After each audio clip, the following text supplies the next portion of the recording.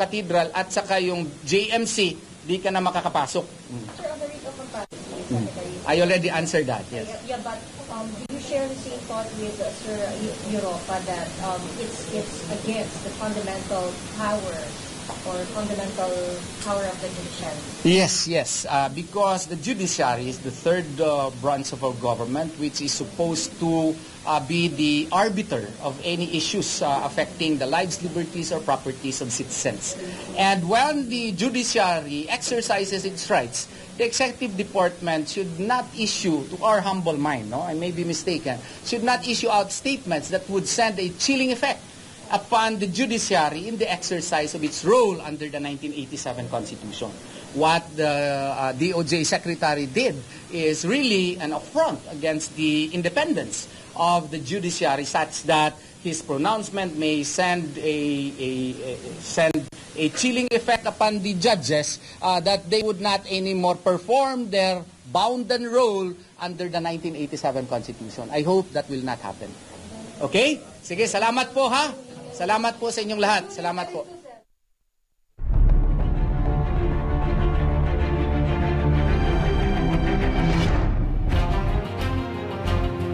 At yan po mga kapartner, napakinggan po natin ang press conference kaninang hapon kasama si Attorney Israelito Torion, ang ah, legal counsel ng Kingdom of Jesus Christ.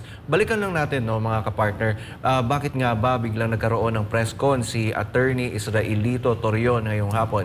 It's because earlier this morning ay nagpa-press ko naman ito si ah, Diwata Torre. Ewan ko ba ah, kung bakit ah, bigla-biglaan din doon kay Torre at hindi nga invited dito, no? Yung SMNI, wala tayong team doon. Kasi it seems that he is withholding informations oh, from us, from the KOJC and the SMNI, which is also a media. And yun nga mga kapartner sa sa press conference na iyon ni ni General Torre isa sa mga nabanggit niya is dapat hindi daw paniwalaan ang KOJC ang SMNI at ang mga sinasabi ng ah, missionaries ng Kingdom of Jesus Christ which is napapakinggan sa social media and also naka live screen no doon sa buong compound 30 hectare compound ng KOJC hindi daw din dapat ah, paniwalaan inuulit-ulit niya yon probably sa totoo lang mga kapartner ah, kaya siguro niya yun ginawa kasi nawawalan na ng ah, nabababaanan ng moral ang mga kasama niyang pulis. Isa sa mga sinabi ni Attorney Torion kanina, by the way mga kapartner, is that um, yung digging sa Jose, ah, isa sa mga sinabi pala ni Torre, ni Torre, ah, kanina mga kapartner sa kanyang press conference earlier this morning ay yung digging no sa Jose Maria College ay hindi totoo. Oho. So yun. Hindi raw yan totoo. Hindi totoo ang mga sinasabi ng mga taga KOJC na hindi natin sila pinapayagan na hina, na hindi ah, hina- pinapahirapan natin sila na makapag-conduct ng ah, ah, search dito sa compound ng KOJC. So yun, ang dami pa niyang mga sinabi na mga kasinungalingan. Kaya yun mga kapartner, si Attorney Israelito Torion ay biglang nagkaroon ng press conference. So ang isa sa hamon dyan is yung digging nga at saka yung sa central ah, sa sa compound doon mismo sa sa KJC Cathedral, hindi daw rin totoo na sinakop na nila kaya hindi tayo makapag-worship.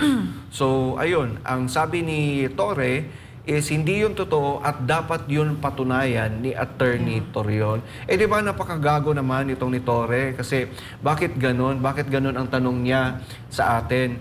Ah, nag nag-e-impose siya ng challenge na patunayan yun na hindi nila ino-occupy yung cathedral at patunayan na ah, walang digging na ah, may digging na nangyayari sa ilalim ng JMC if hindi naman nila pinapayagan na magkaroon tayo ng documentation doon kumbaga they are withholding the evidence no na yung sa issue na yun di ba ano ba yung Yeah. ginagawa ni Torre Margot Kumagat sa hamon yung ating legal counsel na ang sabi kasi ni Torre may allegation daw itong ating ah, kampo na may drilling activity nga doon sa basement ng GMC.